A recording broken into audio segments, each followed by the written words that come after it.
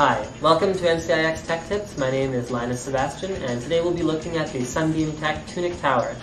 The Tuniq Tower is a replacement for your Intel stock cooler or your AMD stock cooler on your CPU, allowing for better cooling and higher overclocks.